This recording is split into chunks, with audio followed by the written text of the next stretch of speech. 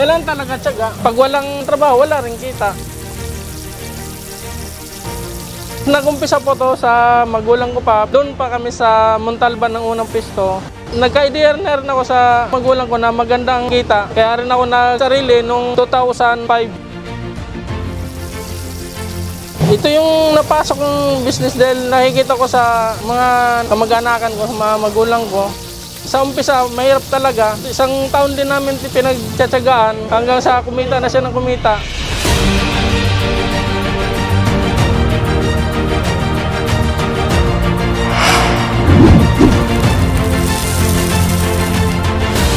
Nakapundar na rin ako ng bahay, mga lote. Nakabili na rin ng sasakyan, business pangakot ng manok.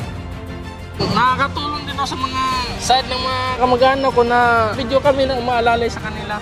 Po muna namin sila para makapag-ipon din sila. Tinulungan na sila makapagpwesto rin ng ganito rin. Kaya stable na sila ngayon sa ano nila, buhay nila ngayon. Kailan talaga tiyaga? Hindi mo agad makikita ang resulta ng isang buwan lang pag makilala na, babalik-balik na yung customer, ta, lalo na na tinda nyo yung kaya ng mga ano, masukan lang, patok siya talaga. Punta po kayo dito sa Adon Fried Chicken, dito sa Marikina, sa May Bisantos. Try nyo po, mura lang, kaya-kaya po ng budget nyo, tsaka magugustuhan na magustuhan nila ito. Masarap, try nyo po.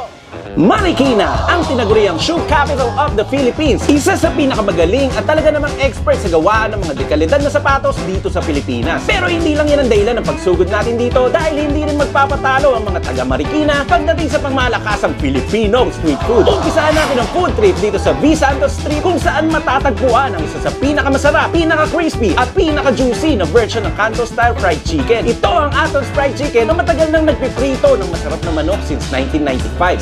Samot-saring parte ng manok mula balat, puwet, leeg at hita. Ultimo isang buong fried chicken ay pwede mo ring itumba dito. Tapos na naman ang bahaw nito. Kaya ilabas na ang masarap na gravy. Tara na't alamin natin kung bakit patok na patok itong pritong manok. Maganda na mga kab! Kainan na mga kabs! At welcome sa shoe capital of the Philippines. Marikina City. Pero syempre, hindi lang sapatos. No? Meron ditong isa sa mga dinadayo pinipilahan na manok, fried chicken. Yun naman. Kita-kita ko kanina kabs yes, niluluto nila. Mukhang masarap. Isang Tikman pa. na natin agad. Mamaya na tayo mag-explain eh. Oo, mamaya na. Buong manok na to. Natin yan. Wala munang kahit anong sausawan ta. Ito siya. Sabay tayo. Tikman natin yan. Cheers! Cheers mga kabs! Mmm! Juicy delicious. Puso sus. Juicy delicious. Malambot. Sarap din to. Masarap to. Solid to. At bukod dito sa isang buong manok, meron din iba't ibang parte ng manok dito sa Atons. Located nga pala to mga kaps ha. Dito sa V. Santos, Barangay Santo Niño, Marikina. Malapit lang siya sa Sumulong Highway. Pwede kayo pumunta dito para magkain ng iba't ibang klase ng manok. Ang sarap ng balat. Murang-murang halaga mga kabs. Napakasarap ng breading. Mm-hmm. Secret na breading ni Kuya Ruel. Mm.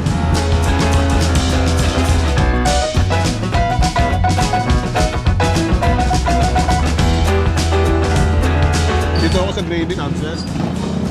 Dalawa yung sausawan nila eh. May suka, tapos meron din gravy sauce. Meron din nabibili kanin dito. Mga kaps. Tapos, meron ko lang yung ah, parte ng puwit ng manok. Sabi ni Kuya Rowel na may-ari ng katon. Ito ang best seller nila. Pwede mo siya isu- sausaw sa suka.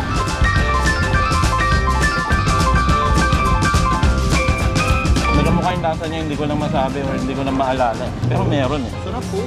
Sa manok kasi, pagpapasarap talaga dyan ang sikreto, kapag magpiprito ka ng manok, is yung breading. Palagay ko yun yung isa sa sikreto nitong ah, ah, Saka feeling ko naka-brine siya mga kabs eh. Kasi yung loob niya, juicy siya eh. Saka mamasa-masa.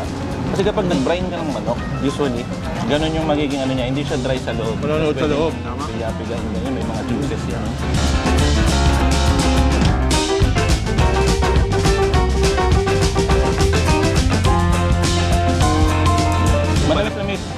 Yung level nila. Pero ang sarap ng texture niya. Alam mo, masarap yung manok. Kapag sa balat masarap, pala sa loob masarap. Mm. Hindi siya ordinary na parang tinipid na lasa mga. Ewan ko kung anong flavor nito. Pero sabi kasi ni Kuya kanina, yung pampalasa nito, ano sa marinade. At Kung sa nila. high grade daw yung ginagamit nilang parang breading dito. Ewan ko kung tinitimplahan nila yun. Siyempre hindi naman sasabihin nila yun. Secret yun. Saan masarap ka? At dahil naman sa lasa at sarap na yun mga kabs, sabi ni Kuya Ruel, nakakaminsan 130 to 150 pieces sila ng manok everyday. Dami, no? Isang buo. So ibig sabihin, pinipilahan sila, tinatangkili sila, kasi nga malasa yung manok nila. Madali lang itong puntahan, mga kaps, kung punta kayo Marikina. Hanapin nyo lang itong B. Santos Street. Mhm. Pag parang mapapasok nyo sa B. Santos Street, makikita nyo agad yung pwesto nito. Meron siyang nakalagay na signboard, Aton's Fried Chicken.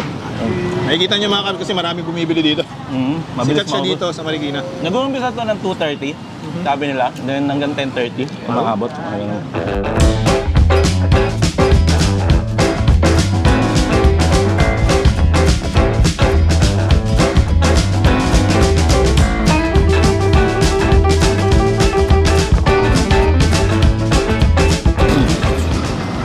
kabs, meron din sila dito mga chicken skin. Oy, oo.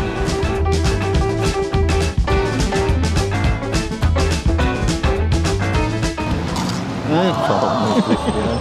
Pero ang tawag nila dito, Paskin, 10 pesos to mga kaps, isang plastic sa kanila. Meron din silang leeg dito mga kabs. Best seller din yun mga kaps, bukod dun sa puwet ng manok. Well, kahit saan naman siguro bilihan ng mga kanto fried chicken, mga kaps, no? Una nga, ubos yung leeg. Ito yung street food na nagtitinda ng manok na masasabi natin expert sa pagluluto ng manok. Kasi matagal na daw sila kabis eh. Since 1995 nga pala to, mga. 25 pa. Kami ni Tata, kapag lumagpas na ng 10 years, tawag namin doon, legendary na. Legendary. Quarter, mga kaps, pa, galing sa isang buo. Malasa, malinamnam, crispy, juicy, pero napaka-affordable. Not your ordinary fried chicken. Ah, Kanto fried chicken, kaps. Well, lahat naman tayo nga, nakakain na ng kanto fried chicken, no? Pero para sa akin, iba to. masarap talaga. Halo. Kaya tinatangkilik siya ng mga tao. Sa totoo kasi mga kabs, yung mga street food, balita naman kinikita nila eh. Alam mo kung ba't sila nagtatagal? Kasi tinatangkilik sila ng mata- mga tao. Kapag maraming Pangmasa. bumibili kasi sa'yo, doon ka kumikita. Tagal-tagal na. Hindi lang dahil sa kailangan budget meal ka, palidad pa din. Masarap pa din. Okay. Basta hindi nababawasan yung lasa. Hindi titipilin yung lasa ng baga. Hindi na ako tumigil. Sarap ng mga sus eh. Nakaka-addict mga kap. Lalo yung balat ng manok. Siguro kung pupunta kayo dito, ang una ko yung recommend sa inyo, balat ng manok. At saka yung puwet ng manok. Sa kapampangan tawag namin doon, paldeot tayo. Pero dahil nga masarap to, siguro oras na para lagyan natin ng, kasi legendary, di ba? Legendary street food. Hindi ka na yan, kabs yan. Kaya natin mga kap, dahil naman ang ginagawa natin kapag talaga sobrang nag-enjoy tayo sa pinuntahan natin. Solid na solid mga kaps. Very recommended din dito sa Marikina. Try nyo yung manok nila. Sigurado ako, hindi kayo Hindi ka magsisisi. mga kabs. Gusto nyo ma-experience masarap na street food na chicken. Ano na? Excited ako. Hindi kayo magsisisi dahil kapag kayo ay nagsisi, sisihin nyo kami. Masarap talaga. Salamat nga pala kay Kuya Ruel. Thank you Kuya Noel Aton at yung family Aton at sa mga staff ng Aton Fried Chicken. Salamat po sa pagpapaunlak na makausap namin kayo mga kwentuhan kanina. Mm, sa kapagkwentuhan kami at nalaman natin na yun nga, na matagal na rin pala to at talagang marami na rin pinagdaanan. Very inspiring. Sana ay ah, lahat kayo ay nai-inspire at nakikinig sa mga kwento ng mga pinupuntahan natin. Talagang kahit kami naman talaga ay nai-inspire doon. Sana lahat ng eh. sumusubok magnegosyo, ta- sana masuportahan din ng mga Cubs Nation. Kaya mga kabs, tara na dito. Tuloy ko na. Cubs, dito yan sa Barangay San Trino, Marikina City. To capital of the Philippines. Gusto isang buong manok. Gusto po. Kailangan na namin umuwi. So, na. Balik na naman tayo sa Bamanga. Sama ko yun sa next trip namin, mga Cubs. Travel tour. Abangan niyo mga kabs, maghahanap na tayo ng isang masarap at sana legendary. Sana legendary. Kaysa na naman, na. Tawa. Mag-ito na muna. Thank you, thank you sa inyong lahat. Ingat po tayong lahat. Doble protection at ingat-ingat ulit. Muli po, kami ang Team TV 2.0 na lagi magsasabi at magpapaalala sa inyo. Huwag niyo kakalimutan na tayo yung tatandaan. Kukunin ko yung number to. Mga pala, rule number 2 lagi na. Sobrang excited namin makapnahuli yung rule number 2 kaya umahaba yung outro. Cheers! Ibisin na lang. Ah! Manyaman! Kenny! Bye! Peace out! Sarap na manok dito.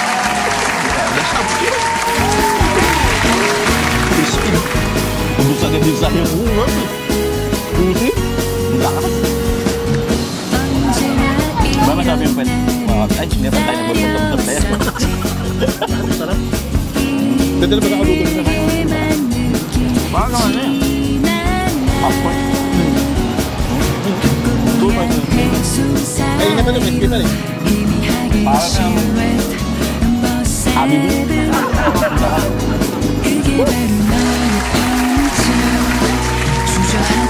Shoutout nga pala kay Kuya Murphy.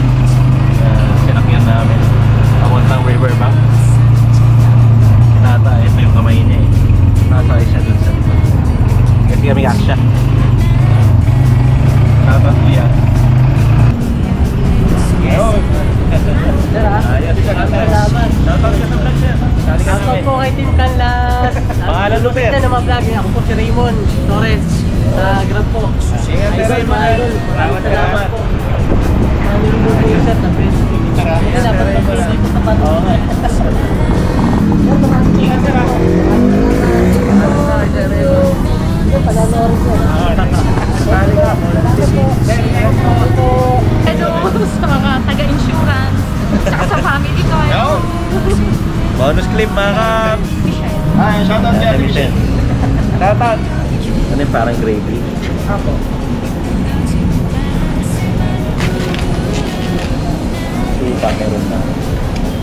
Isuka naman. Ikaw naman susuka.